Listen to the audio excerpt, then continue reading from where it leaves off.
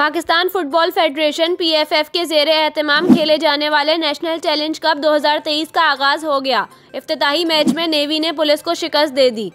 National challenge cup का मंगल 24 जनवरी से केपी स्टेडियम में रंगारंग आगाज़ हुआ। पाकिस्तान फुटबॉल फेडरेशन के तहत प्रीमियर मुकाबलों में मुल्क भर की सबसे ज़्यादा 27 डिपार्टमेंटल टीमें टाइटल के हसूल के लिए मैदान में उतरेंगी।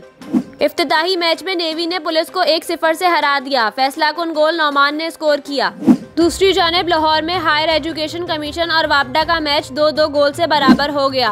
पिशावर में एयरफोर्स और डब्ल्यूएसटीसी के दरमियान खेला जाने वाला मैच भी दो दो गोल से बराबरी पर ख़त्म हुआ। इसके अलावा चमन में अफगान क्लब ने निम्सो क्लब हजारा को एक के मुकाबले में छह गोल से शिकस्त दी। अशरफ ने हैट्रिक स्कोर की। केआरएल ने पीओएफ को सात सिफर से शिकस्त दी। फाते टीम के मुइन ने हैट्रिक बनाई। वहीद ने दो गोल किए। भावलपुर में रेलवेज और अशरफ शुगर मिल्स के दरमियान मुकाबला बगैर किसी गोल के बराबर रहा।